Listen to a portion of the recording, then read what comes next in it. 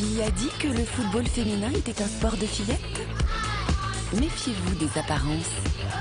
L'UEFA Euroféminin 2013 à partir du 12 juillet en exclusivité sur W9.